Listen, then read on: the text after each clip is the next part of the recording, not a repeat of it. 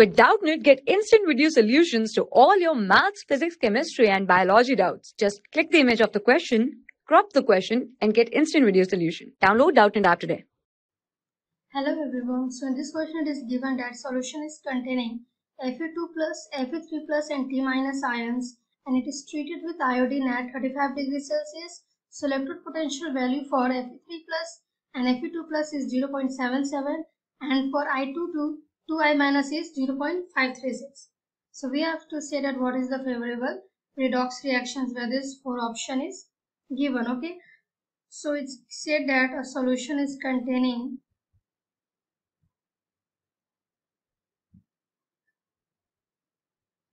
Fe2 plus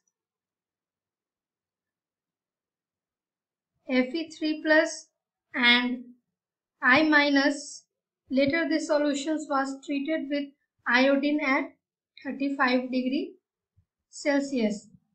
So reduction potential for Fe3 2 plus 2 Fe2 plus is equal to 0.77 volt and for I2 to 2I minus is 0.536 volt. Now coming to reductions potential. It is also known as redox potentials and it is denoted by E naught where you can see in questions. So it measures the E naught measures the tendency of a chemical species chemical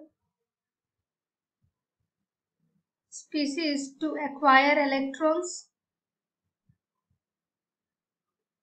and thereby be reduced. So generally it is considered as more positive the reductions potential that is E naught higher the greater will be the species affinity be reduced. So that I can say that it can be reductions.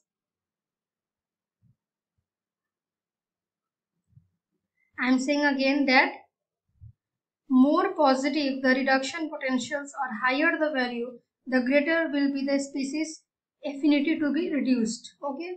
So reduction potentials for Fe3 plus 2 Fe2 plus is equal to 0.77 while iodine is 0.536 volt so, reductions potential for iron is greater than that of iodine. Okay, so iron will get reduced. I can say that iron will get reduced because when they reacted in a solutions and the balanced chemical charge with the changes indicating oxidations and reductions is shown, shown below. So this will be the redox reactions. 2Fe3 plus 2E minus gives 2Fe2 plus plus I2 so here you can see that Fe3 plus is being reduced to Fe2 plus as it has more reduction potential value than I2 to I minus where I minus is getting oxidized to I2 plus.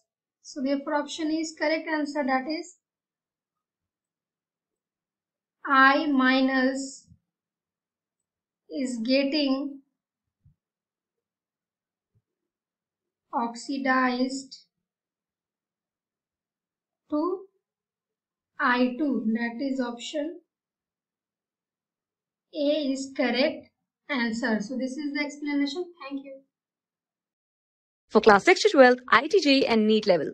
Trusted by more than 5 crore students. Download Doubtnut app today.